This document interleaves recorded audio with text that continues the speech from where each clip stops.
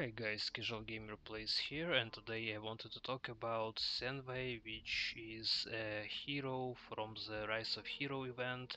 You can collect quite a lot of uh, his shards from the event even if you are a free-to-play player and as you can see I have gotten him to the legend rank and I still have I believe around 50 something shards of him so I can go into the campaign modes and farm some shards of him for his future evolutions.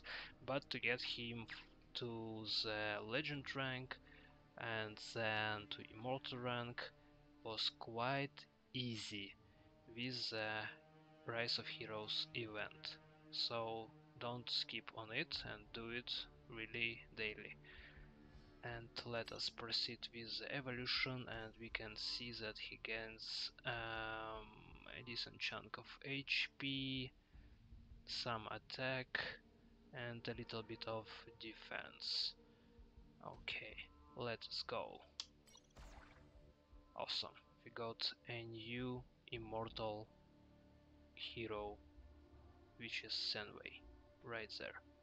If you found the video helpful or entertaining, please subscribe to my channel and I will see you guys in the next videos later. Bye.